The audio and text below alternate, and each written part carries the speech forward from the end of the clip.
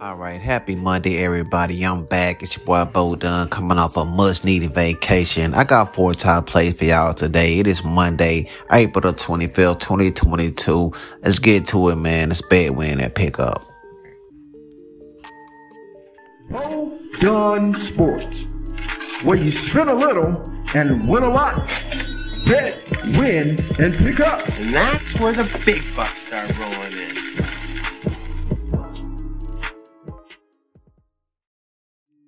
All right, what's up, everybody? I'm glad to be back.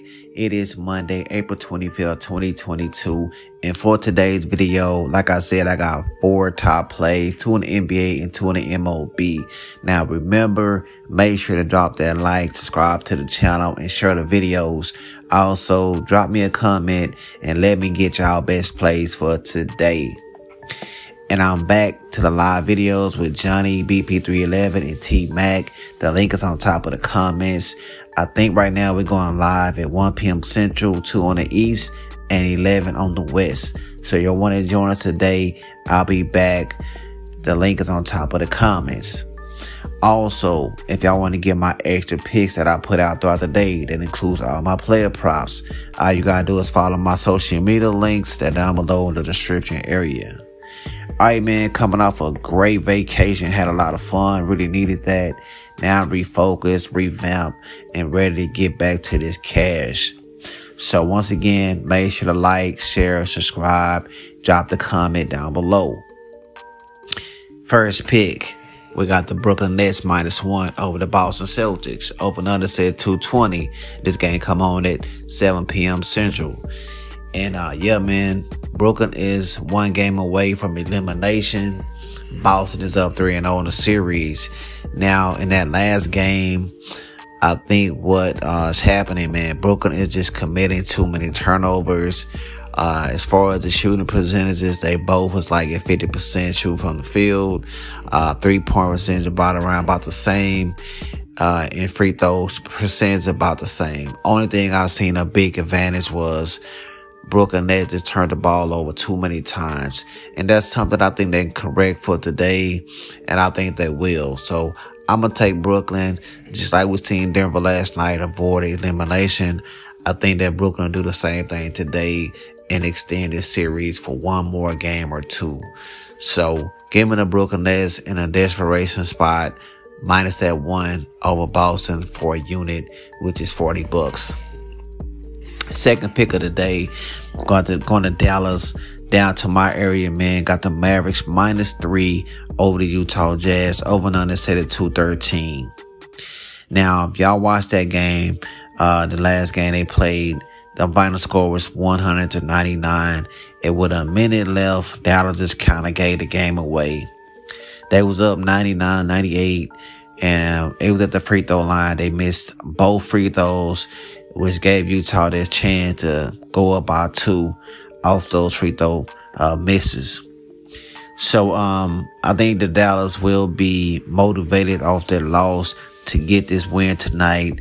Also back at home where they do their best work. And uh, Utah is really been uh, struggling on the offensive side.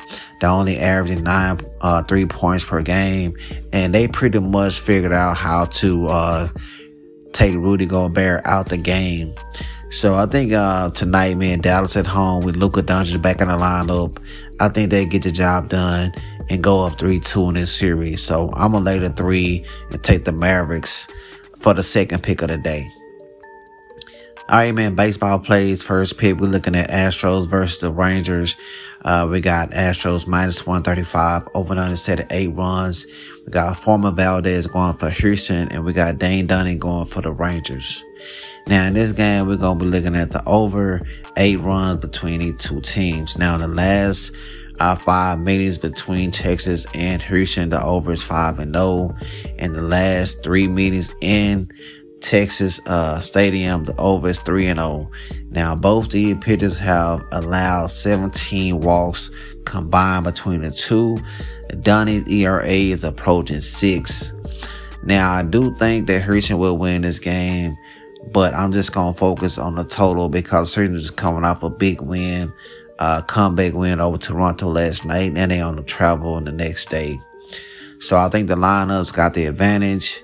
And quietly, Texas Rangers has been putting up a lot of runs this season. Right now, they got 71 runs. That's the only one under the top uh, scorers. And so I think Texas will be able to play four runs. I like Houston to be able to put up at least five. So I also got an angle in this game. Uh, as Houston as a road favorite, and they put up eight runs in their last game. In the last two years, the over is nine and two in that last eleven. So give me those Houston Astros and Texas Rangers over eight runs for a unit at minus one fifteen. Final pick of the day, we're going to Arizona where we got the Diamondbacks going up against them Dodgers. The Dodgers right now are minus 172 favorites over and under set at eight and a half. Now we got Walker Buehler going for the Dodgers and we have uh, Merrill Kelly going for the Diamondbacks. Now, uh, Walker Buehler has not been looking like his normal self, but I think tonight he got a great uh, matchup against the Diamondbacks. Diamondbacks are the worst hitting teams in MLB right now. Their lineup is only averaging um, 177. So I think with Walker Buehler be able to manage this lineup and limit the runs. And on the other side, we got Merrill Kelly, and he's pitched 15.3 innings this season. He's only allowed one earned run with 18 strikeouts in those innings. Now, I think that he'll be able to navigate through that Dodgers lineup for the first five innings. And I'm going to take the under four and a half in the first five of this game between the Dodgers and Arizona at minus 115. The reason why I'm taking the first five instead of the full game because Arizona Diamondback bullpen is ranked toward the bottom. So I think that toward the end, um, you know, later in, I think the Dodgers will uh, place and run. So we're going to focus on the first five under four and a half and minus 115. I mean, recap on these plays. Give me the Brooklyn Nets minus one. Give me Dallas minus three. And NBA, MLB, I like the over eight between Houston and the Texas Rangers. Final play of the day. Give me the under four and a half runs in the first five innings between the Dodgers and the Arizona Diamondbacks.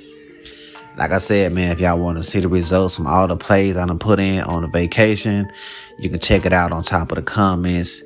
And if you want to join that live, the link to Johnny's Hunt Win YouTube channel is on top of the comment section as well. Remember to drop that like, sub to the channel, share the videos, and leave your boy a comment down below and give me y'all top plays for today. Feels good to be back.